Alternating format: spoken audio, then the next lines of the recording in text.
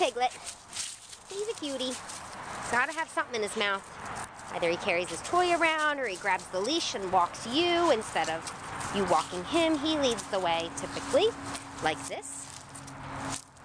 He'll just hold it. Oh, now he's gonna have the leash and the leash and the toy in his mouth.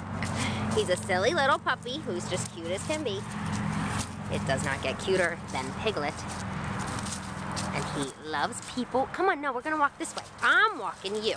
Good boy He's always happy, tail's always wagging. He's got the cutest little face. He likes other dogs, he likes kids. He needs exercise and training like every puppy needs. Come on, we're gonna go this way. Good boy. Good boy. He's a silly little man. Come on, here we go.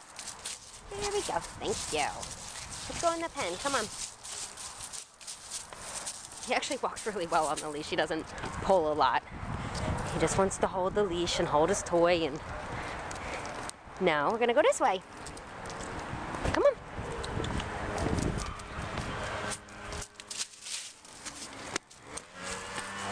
Come on. Go see what other toys we can find.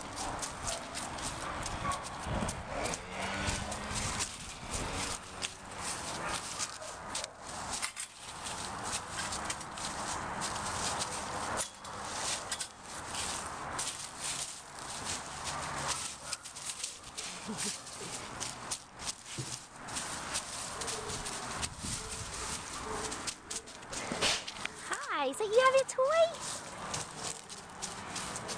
Yeah.